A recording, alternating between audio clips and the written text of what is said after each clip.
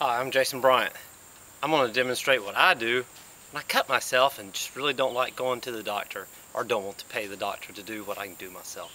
So, watch. The first thing to do is to stop the bleeding. So, use whatever's handy. It's always nice to have a good roll of uh, electrical tape or duct tape handy. So that's what I used.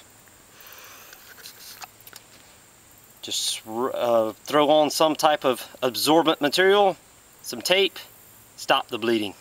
So let's start off with getting things off and see what this actually looks like.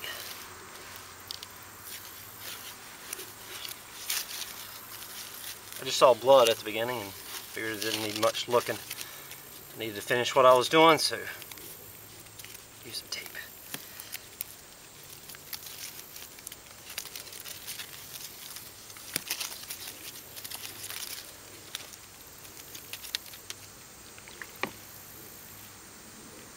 Ah, not too bad.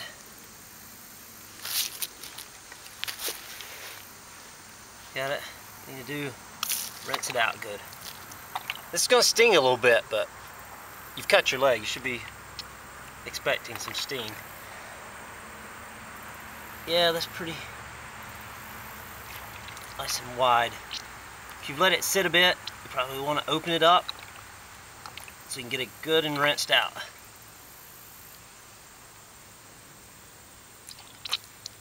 You don't want to leave any trash in. You leave trash, you're just just expecting on getting infection. You don't want infection. So good irrigation is key at this point.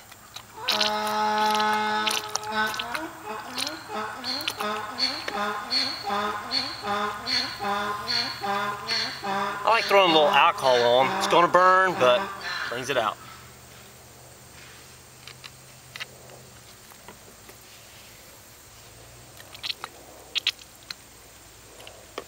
Getting it irrigated out very well. Doesn't look like there's any trash. It was a pretty clean cut, cut at the time. Then I like putting in a little bit of hydrogen, hydrogen peroxide as well. And I don't know if you can see that on the video, but it'll foam up and clean out. The last little bit of cleaning, make sure things are nice and clean in my professionally unprofessional opinion, I think it's good getting it back to bleeding a little bit. Getting the blood to run and clear things out a little bit.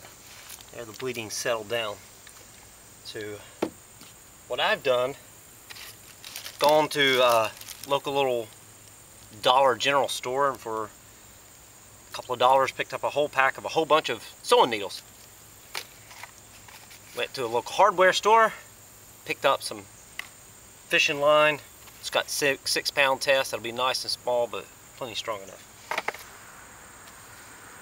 So, I think it's good. Take your couple of sewing needles going to use here.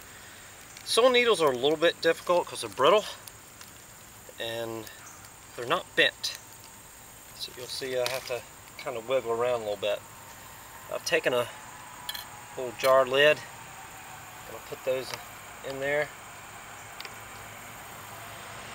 Some alcohol in it to sanitize my needles.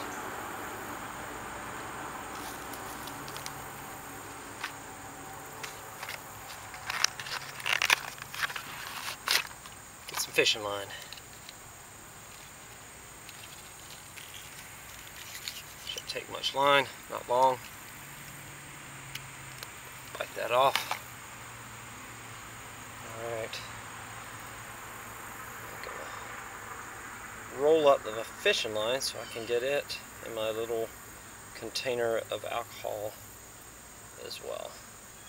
So I'm going to take that, dip that in. I'll call that sterile. Who knows? Doctor may have said that's not sterile. Of course, I'm not a doctor, am I? So call that Jason Bryant sterile. sterile. Alright. Time to start stitching up. And I did wash my hands before coming on the video. So, thread the needle. Now it's probably just going to get boring. But just sticking a few stitches. I did actually do this earlier in the summer and that was the first time and I was like, oh man, I should have videoed that. So I cut it today, but hey, guess I'll video it this time. So anyway, somebody asked me, I guess it doesn't hurt because it's cut. No, it's gonna hurt, but what's the point? You know, a little bit of pain. The difficulty, getting it through the skin is surprisingly difficult. It's a fair amount of force to get that needle to jab through there. Someone has recommended you could take ice, chill it, and numb it. I say just start jabbing holes. So, take it, hitch it up. Like I said, this is where the sewing needle is a little more challenging. Just sit, press hard. Catch where you're coming out. Right. Press hard. Like I said, takes a fair amount of force. As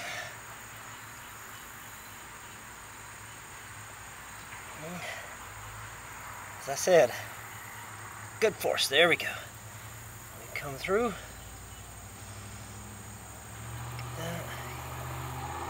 Line out. Take another pop to get the string to come through There we go. String is through there. Probably best to not let your line drop on the ground, but try to say I'm a mountain man, right? Let's rinse that off again. bleeding down.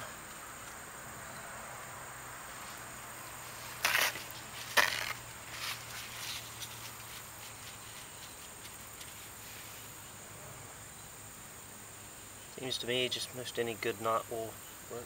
So just tie it off. Not to go over snug, but just over tight, just nice and snug.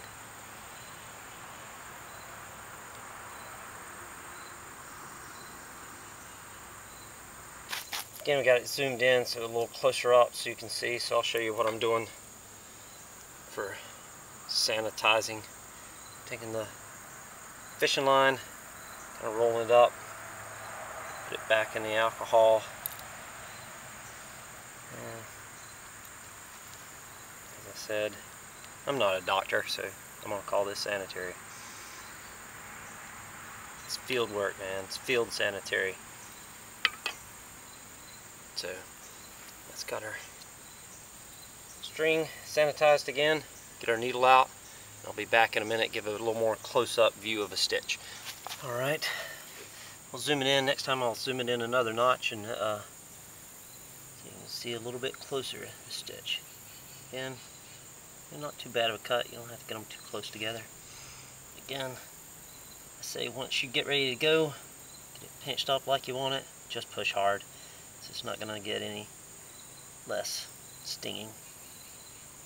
Through. See if we can get it through a little bit. go. Got it through a little better that time. Just set in and push.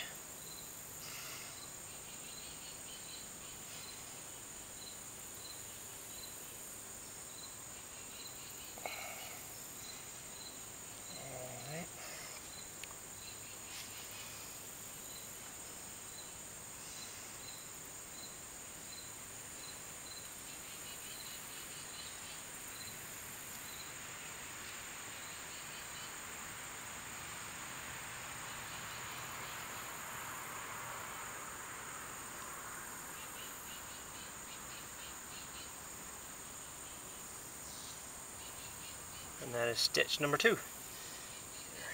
Go back in the alcohol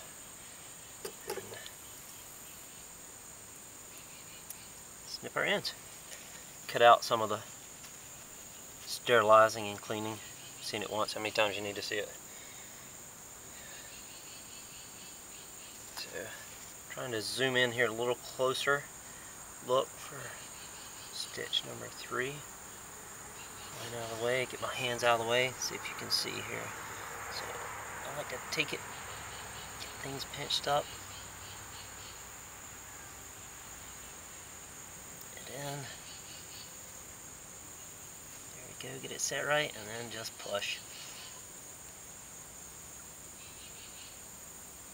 See, overall, the quicker you can get it through, the better.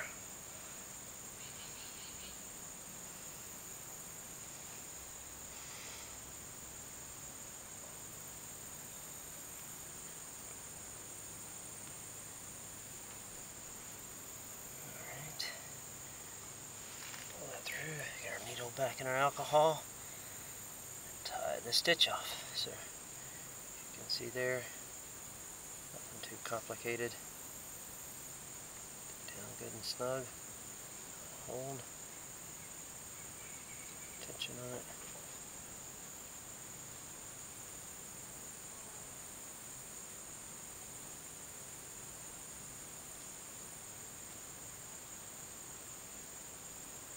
Like what you might not see there is like once I get that loop I'll pull it down so my stitch will actually hold good and snug. And there, tie it off. Good and tight.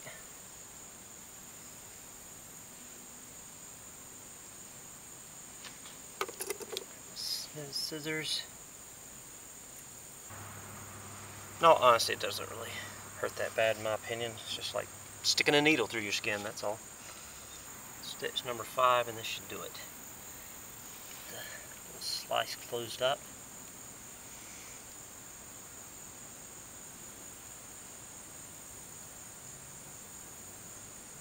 So they're getting tight, so I just shove it in on the one side and then turn it up to get it through the other side.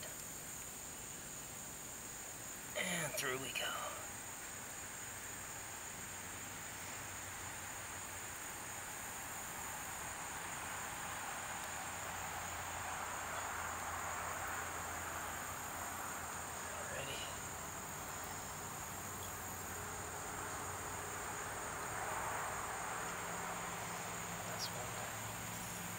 tie off.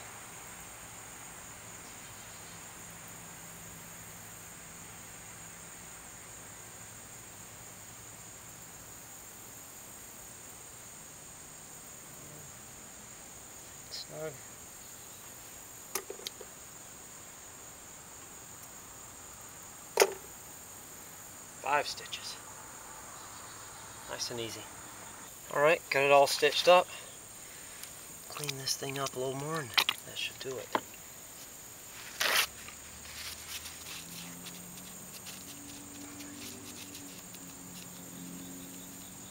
should be about all the bleeding. Grab a little more of the alcohol that I used to sanitize. Throw that on there. Um, bad stuff out. And finish off with just a little more hydrogen peroxide. Get a little sizzle. But really get it cleaned out.